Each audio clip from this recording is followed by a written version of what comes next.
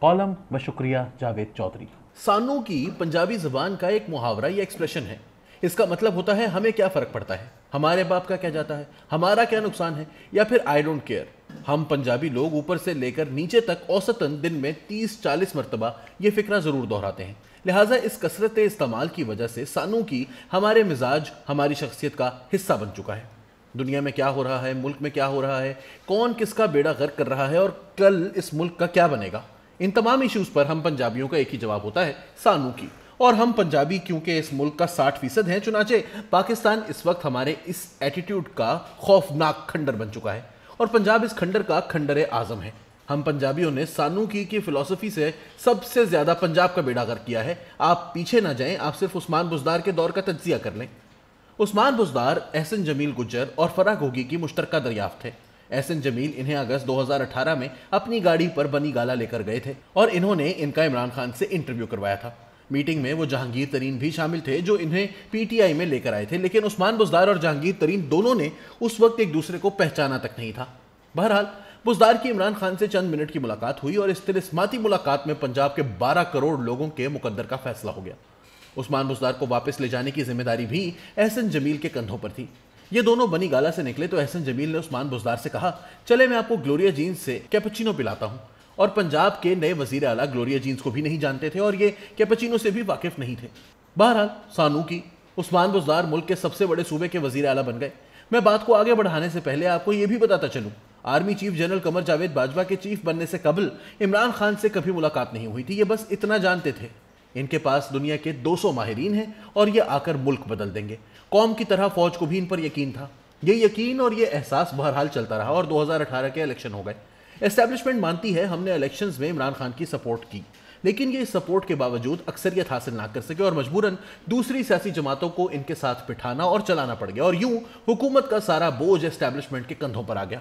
वज़ीर आज़म बनने से चंद दिन कबल आर्मी चीफ और जनरल फैज हमीद इमरान खान से मुलाकात के लिए बनी गाला गए। ये वेटिंग रूम में इंतज़ार कर रहे थे और इमरान खान जॉगिंग ट्राउज़र के साथ पिशावरी चप्पल पहनकर अंदर दाखिल हो गए। ये दोनों मुस्तबिल के वज़ीर आज़म को देखकर परेशान हो गए। मुलाकात हुई और ये दोनों जब बाहर निकले तो जनरल फैज हमीद ने पूछा, क्या हम इनको वज़ीर आज़म बनाने के लिए कोशिश कर रहे हैं? आर्मी चीफ ने इनकी तरफ़ देखा और खामोश हो गए। बहरहाल, इमरान खान वज़ीर आज़म बने और इसके बाद सऊदी शहजादे हों या यूरोप और अमरीका के वजरा। इन सबको बनी गाला में धूप में भी बैठना पड़ा और ट्राउज़र और पिशावरी चप्पल भी देखना पड़ी और वज़ीर आज़म का इंतज़ार भी करना पड़ा। बहरहाल, सानू की हम उस्मान बुजदार की तरफ़ वापस आते हैं। इमरान खान और एस्टेब्लिशमेंट के दरमियान पहला इख्तलाफ उस्मान बुजदार की तैनाती पर हुआ था। फौज पंजाब जैसे सूबे को बुजदार जैसे अनाड़ी के हाथ में नहीं देखना चाहती थी, लेकिन वज़ीर आज़म नहीं माने और ये पौने चार साल अपनी जिद पर डटे रहे।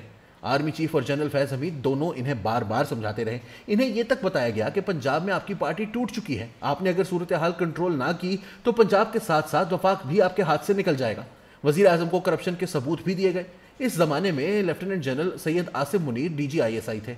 इन्होंने मानिका फैमिली फराक होगी, एहसन जमील गुज्जर और उस्मान बुजदार के मामला पैसे के लेन देन तकर्रियों में करप्शन और मनी लॉन्ड्रिंग की तमाम तफसीत सबूतों के साथ वज़ीर आज़म को पेश कर दी। लेकिन रिपोर्ट को सीरियस लेने के बजाय वज़ीर आज़म डीजी से नाराज़ हो गए और आर्मी चीफ से इनके तबादले का मुतालबा कर दिया। आर्मी चीफ ने इन्हें समझाया, sir, Asim Munir career officer हैं। इनकी ईमानदारी और प्रोफेशनलिज्म की कसम खाई जा सकती है और ये इनका फ़र्ज़ था। या आपको हर चीज़ मुकम्मल ईमानदारी से बताते और इन्होंने फ़र्ज़ अदा किया। लेकिन वज़ीर आज़म का कहना था, ये मेरे घर में बदगुमानी फैला रहे हैं। ये खातून अव्वल के दोस्तों को बदनाम कर रहे हैं। बहरहाल, वज़ीर आज़म के मुतालबे पर जनरल आसिम मुनीर को कोर कमांडर गुजरावाला तैनात कर दिया गया। डीजी तब्दील हो गया, लेकिन पंजाब की सूरत हाल जू की तू रही। और वज़ीर आज़म को जब भी बताया गया, इनका जवाब था, सानू की। ये मामला चल रहे थे। फरवरी 2021 आ गया। सेनेट में हफीज शेख और यूसुफ रजा गिलानी का इलेक्शन आ गया। पीटीआई के अरकान हफीज शेख को वोट देने के लिए तैयार नहीं थे और वज़ीर आज़म ने हसब मामूल ये ज़िम्मेदारी एस्टेब्लिशमेंट के कंधों पर डाल दी। उस वक्त अफ़गानिस्तान में तब्दीली आ रही थी। अमरीकी फौजें वापस जा रही थी और मुल्क एफएटीएफ में फंसा हुआ था। लिहाजा एस्टेब्लिशमेंट के पास सियासी खुराफात के लिए वक्त नहीं था। उस वक्त जनरल फैज हमीद ने मशवरा दिया, हमें अब अपने आप को मुकम्मल तौर पर सियासत से अलग कर लेना चाहिए। यह इलेक्शन हुकूमत को खुद लड़ना चाहिए। चुनाचे हुकूमत को फैसले से मुतल कर दिया गया। वज़ीर आज़म को बताया गया, आपकी पार्टी पंजाब से फारिग हो रही है। ये टूट फूट का शिकार है। आपको इसे संभालना होगा। वज़ीर आज़म को यह मशवरा तक दिया गया कि आप बारह बजे दफ्तर आते हैं और पाँच बजे वापस चले जाते हैं। आप एक घंटा पहले आ जाया करें, एक घंटा दफ्तर में मजीद रुक जाया करें और अपने इतिहादियों एम और एम से मिल लिया करें। आप सिर्फ़ उन लोगों की बात सुन लिया करें। इससे आपकी पार्टी और हुकूमत को तकवीत मिलेगी। लेकिन वज़ीर आज़म ने यह मशवरा नहीं माना। ये मशवरे मुख्तलिफ़ अवकात में बार बार दिए गए, मगर कोई फ़र्क ना पड़ा। एक बार यह भी बताया गया, फौज में कोर कमांडर के मातहत तीन जीओसी होते हैं। अगर कोई कोर कमांडर एक बार चीफ से किसी जीओसी की शिकायत करे तो आर्मी चीफ इसको हटा देगा। अगर ये दूसरी बार शिकायत करे तो चीफ इंतहाई मजबूरी में दिल पर पत्थर रखकर यह बात भी मान लेगा। लेकिन अगर वो कोर कमांडर तीसरी मरतबा जीओसी की शिकायत करेगा तो इस बार जीओसी तब्दील नहीं होगा।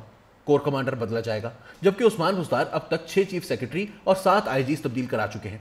मगर ये इसके बावजूद सुबह नहीं चला पाए। लिहाजा इशू चीफ सेक्रेटरीज और आईजीज में नहीं वज़ीर आला में है। आप इसे तब्दील करें, वरना ये चीफ मिनिस्टर आपकी हुकूमत ले बैठेगा। मगर बात इस बार भी नहीं मानी गई। ये कशमकश चलती रही और मामला जब पॉइंट ऑफ़ नो रिटर्न पर पहुँच गया और वज़ीर आज़म को महसूस हुआ, मुझे अब मुजदार साहब की कुर्बानी देनी पड़ेगी तो अलीम खान को वज़ीर अला बनाने का फैसला हो गया। एस्टैब्लिशमेंट ने सुख का सांस लिया, अलीम खान को इतला कर दी गई और इन्हें इस्लामाबाद भी बुला लिया गया। मगर इस सहपहर फवाद चौधरी ने चलते चलते कहा, सर दरमियान में एक रात बाकी है। वज़ीर अजम अभी घर नहीं गए। आप सुबह देख लीजिएगा, ये फैसला बदल चुका होगा। और अगली सुबह वाकई फैसला बदल गया और वज़ीर आज़म ने अलीम खान को देखकर पूछा, खैरियत है, आप इस्लामाबाद क्यों आ गए? और अलीम खान गुस्से में पार्टी से मुस्ताफी हो गए और यूँ इस बार भी मामला सानू की पर आकर खत्म हो गया। इमरान खान की हुकूमत के बाद मेरा ख्याल था, पंजाब में शायद अब इस्तेकाम आ जाएगा। मगर अफसोस आने वाले दिन पिछले दिनों से ज़्यादा बदतर साबित हुए और पंजाब चार माह से सियासी जंग का मैदान बना हुआ है। चौधरी परवेज इलाही वज़ीर आला बन चुके हैं, लेकिन ये कितने दिन टिकते हैं ये कोई नहीं जानता। क्यों? क्योंकि इमरान खान ने काफ लीग के दस अरकान को वजारतें ना देकर इन्हें चौधरी शुजात हुसैन की तरफ़ धकेल दिया है और पीडीएम ने चौधरी शुजात को पेशकश कर दी है, आप अपने दस अरकान को वापस ले आए, आप जिसको कहेंगे हम इसे वज़ीर आला बना देंगे। गोया पंजाब की किस्मत ही खराब है। ये एक बार फिर सियासी अफरा तफरी की तरफ़ बढ़ रहा है। और अगर इसको ना रोका गया तो ये साबित हो जाएगा, ये पूरा मुल्क चार साल से सानू की पर चल रहा है। मीशत तबाह हो जाए, स्टॉक एक्सचेंज बैठ जाए, मुल्क सियासी तनहाई का शिकार हो जाए, या आए रोज लश्कर मुल्क बंद कर दें। सियासतदानों से लेकर अदलिया तक तमाम मुख्तर ताकतों का सिर्फ़ एक ही एक्सप्रेशन होता है, सानू की। और आप दिल पर हाथ रखकर जवाब दीजिए, इस एक्सप्रेशन के साथ ये मुल्क मजीद कितनी देर चल सकेगा?